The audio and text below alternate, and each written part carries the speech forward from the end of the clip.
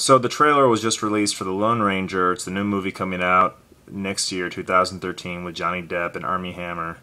Or is it Arnie Hammer? I'm not sure. He's the guy from Social Network, and Johnny Depp is Jack Sparrow. Um, this movie looks terrible. the The tagline is whoever whoever control. Well, not the tagline, but the line from the trailer you'll remember most is whoever controls the railroads controls the future uh, has the power or something.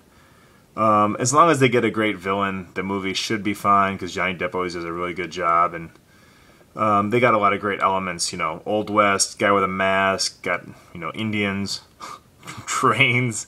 They have the essentials. Jerry Bruckheimer and Gore, they're good at you know making movies. So I'm reasonably confident this will be a movie I will skip